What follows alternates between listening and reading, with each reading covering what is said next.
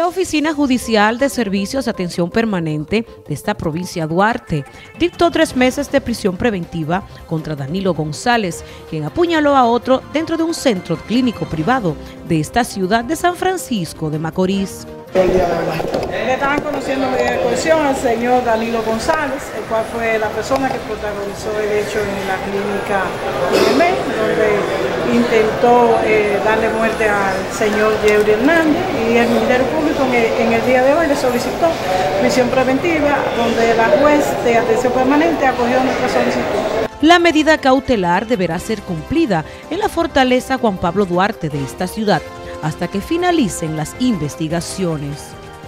Bueno, la posición de la barra hasta el momento ha sido positiva ya que se está haciendo justicia eh, aquí en el Judicial del Valle.